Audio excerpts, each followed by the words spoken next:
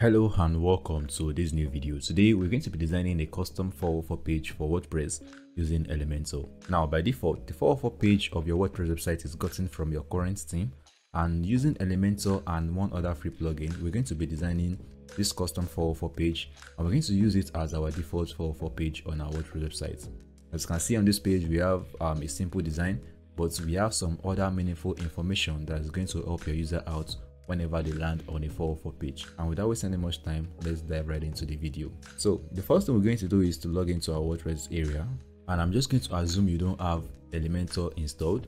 So to install Elementor and the other plugin we're going to be using, come down to plugins and select add new plugin. So come to this search bar here and type in Elementor.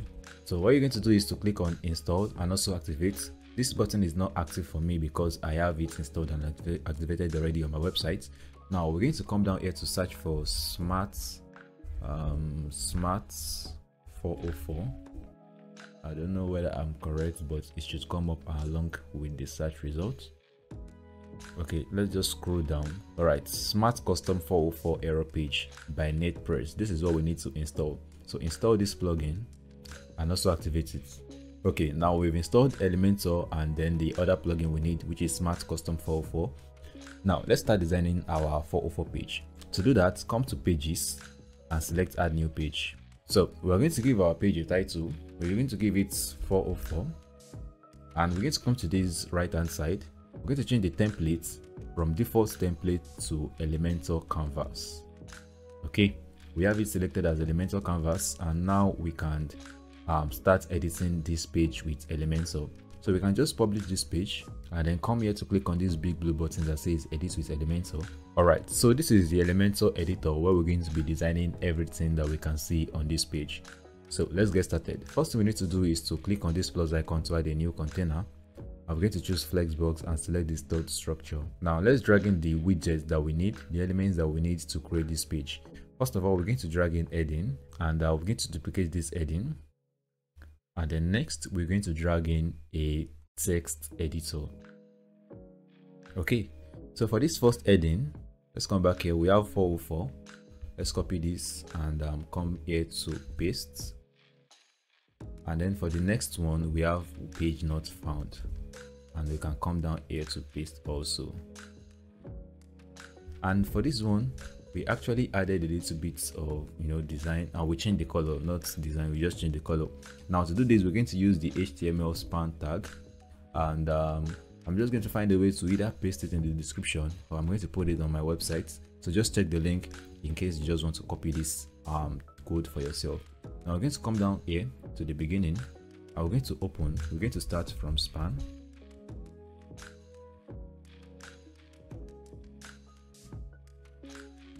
Right.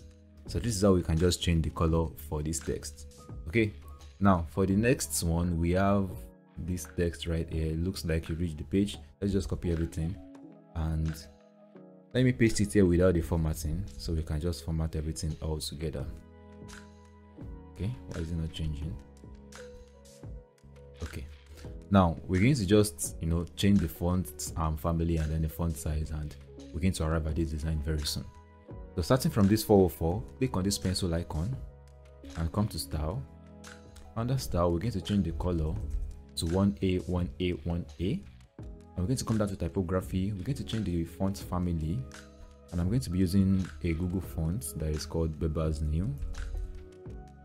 You can use any font of your choice. It depends on your own preference. And for the size, it's going to be pretty big. Let's say 180, 180 pixels. Okay. And then the weights, I think we just have two weights types here. And this is what we can use.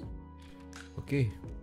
Now, to the next one that says page not found i'm going to come to style and uh, okay we have the color change already i'm going to change this one also to Bebas Neue all right and then the size is going to be 50 now there's a little bit of space between both you know between the both widgets between the 404 and then the page not found so let's just click on this container and uh, let's unlink these values okay i think it's okay this way now let's format this second text. Looks like you've reached the page that doesn't exist. First of all, we'll come to style. And for the for the font color, we're going to use 1A, 1A, 1A. and um, the font size can be 15 all right now let's come back to contents okay. Looks like you've reached a page that doesn't exist but but don't worry. I used ChatGPT to you know to construct this text by the way. So in case it sounds like ai it is. So we're going to just iconize i mean or is it itemize? All this text right here. So i highlight everything and click on this icon. Now okay. Now come to this second one. Backspace and click on enter and um, backspace enter. Okay and if you're still lost so this is the end. Let me just remove the icon for this. Okay. All right. So let's just work on a little bit of things right here. Let me expand this. Okay says check the url maybe there's a typo. It happens to the best of us. We don't need to do anything there. Go back to the home page click here to return to home page to return home. So we're going to highlight this click here because it's going to be a clickable text. So first of all let's change the let's change it to bold and let's add a new text a new link by clicking on this link icon. So you can just paste in your home page link for my own. Let me just search for home. All right it's not coming up. Let me just type in my home page url preview. Okay this is its elementor preview and click on this apply button. Okay that has been added. Next one it says explore our contents you can visit our blog. Let's make this bold and let's add a link. I don't have a blog page so let me just put in hashtag and then browse. We're going to do the same thing for this and then put in this. You can add a real link on your own website. This is just a test website i use for my youtube videos so i don't really have much page like that now if you are still lost feel free to contact us uh, we're going to highlight this contact us make it bold and we're going to add a link also. All right and i think we are good to go.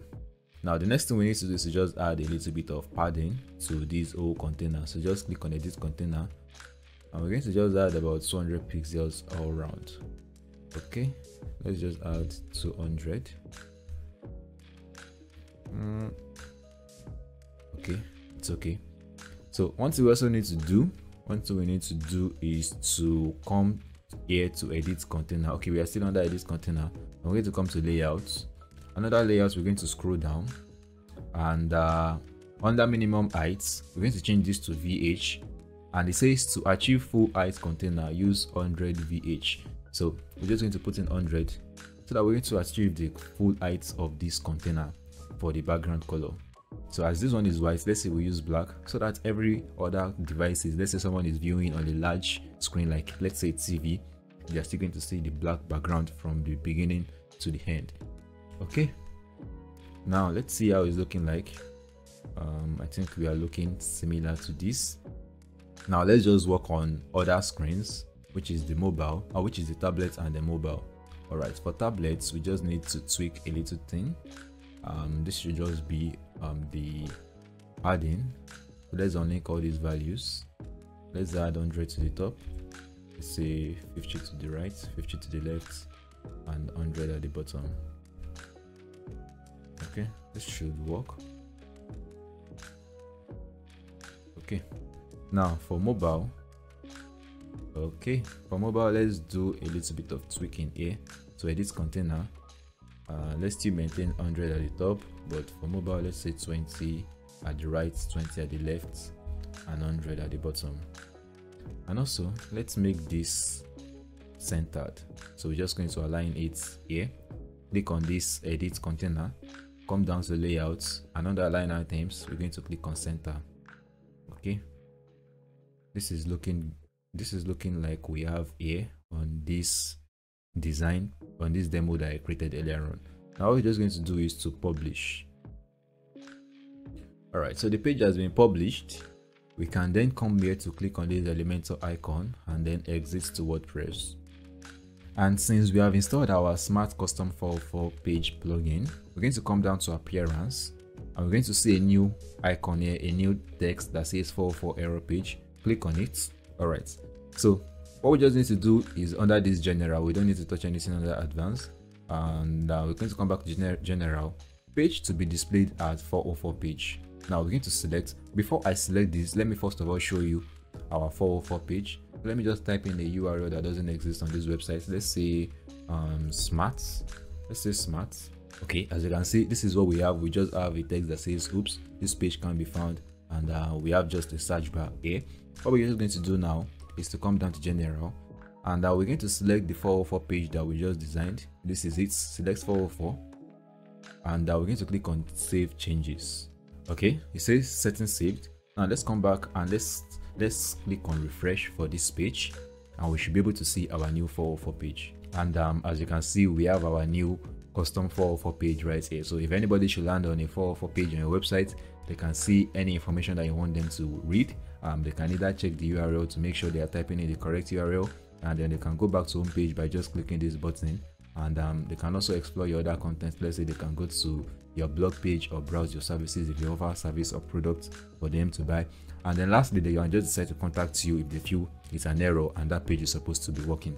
So there you have it guys. This is how you can design a 404 page using elementor and also set it as a default 404 error page on your WordPress website now if you enjoyed the video make sure to like this video and also subscribe for more content like this. And also leave a comment down for me any video suggestions anything i might have missed any question that you have for me just leave it down in the comment section below. And i'll be sure to reply to all your comments. Until next time keep creating something awesome